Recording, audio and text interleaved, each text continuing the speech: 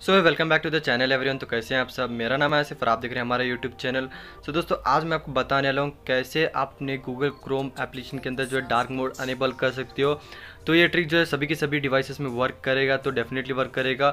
अगर कुछ भी प्रॉब्लम होती है तो आप मुझे कमेंट सेक्शन में पूछ सकते हो. तो चलिए दोस्तों, यहाँ पर मैं आपको बता देता हूँ कि आपको कैसे अनेबल करना है, कैसे आपको स्टेप्स फॉलो करने हैं. बस एक छोटा सा स्टेप है आपको सिंपली उसको क्लिक करके अनेबल करना है, उसके बाद आपका क्रोम जो है डार्क मोड में चला जाएगा. तो अगर आपको वीडियो हेल्पफुल लगती है और पसंद आती है तो लाइक करके अप्रिशिएट करके जो है इस वीडियो को अपने फ्रेंड्स के साथ शेयर कीजिएगा। तो चलिए दोस्तों यहाँ पर मैं आपको बताता हूँ कि यहाँ पर आपको गूगल क्रोम में ओपन करके आपको कौन सी सेटिंग्स को अनेबल करना है। सो so, दोस्तों ये है मेरा गूगल क्रोम एप्लीकेशन और यहाँ पर आप देख सकते हो इंटरफेस वाइट है लेकिन जो भी आप वेबसाइट ओपन करोगे वो डार्क मोड में ही खुलेगा। जैसे कि यहाँ पर आपको एक एग्जांपल के लिए दिखा देता हूँ। तो यहाँ पर आप देख सकते हो मैं कोई भी वेबसाइट को ओपन कर लेता हूँ आपकी दिखाने के लिए। तो यहाँ पर एक रॉम की जो वेबसाइट है तो यहाँ पर मैं आपको दिखा रहा हूँ तो ये भी डार्क मोड में आ चुका है।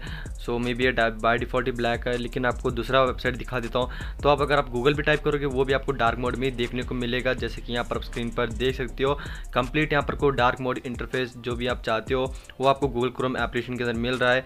और मैंने ऑलरेडी गूगल क्रोम की ट्रिक्स के ऊपर वीडियो बनाई है तो अगर आपने नहीं देखे तो आप जाकर देख सकते हो। मैंने ऑलरेडी वो वीडियो अपलोड कर रखी है मेरे इस चैनल पर, मैं आपको डिस्क्रिप्शन में उसका लिंक जो है प्रोवाइड कर दूँगा तो आप इस वीडियो के बाद उस वीडियो को चेकआउट कर सकते हो। तो आपको सिंपली आपको क्रोम ओपन करना है क्रोम के अंदर लिखना है क्रोम कोलन डबल स्लैश यहाँ पर आपको लिखना है फ्लैग्स करके। तो फ्लैग्स एक एक्सपेरिमेंटल बीटा फीचर्स हैं, जिसको आप अनेबल करके टेस्ट कर सकते हो अपने गूगल क्रोम को, अपने एंड्रॉयड फ़ोन में। तो जैसे यहाँ खुलता है तो आपको सर्च में लिखना है डार्क मोड जैसे कि यहाँ पर स्क्रीन पर देख सकते हो। तो जैसे यहाँ पर डार्क मोड लिखोगे, दो ऑप्शन यहाँ पर आपको सामने निकल कर आएँगे, जिसमें यहाँ पर आपको दोनों को अनेबल करना है। अगर आप एक को अनेबल करोगे, हो सकता है आपकी क्रैश होकर जो है डार्क मोड वर्क नहीं करें या फिर एक ही अनेबल करने पर आपको डार्क मोड वर्क करे तो आप दोनों ही अनेबल कर लीजिएगा, दोनों ही ट्राई कर लीजिएगा तो यहाँ पर दोनों को अनेबल कर लेते हैं। दोनों को अनेबल करने के बाद आपको सिर्फ़ रीलॉन्च पर क्लिक करना है नीचे की तरफ़, जैसे कि गूगल क्रोम फिर से रिस्टार्ट होगा। रिस्टार्ट होने पर यहाँ पर आपको सेम इंटरफेस मिलेगा, जैसा कि वाइट इंटरफेस मिलता है।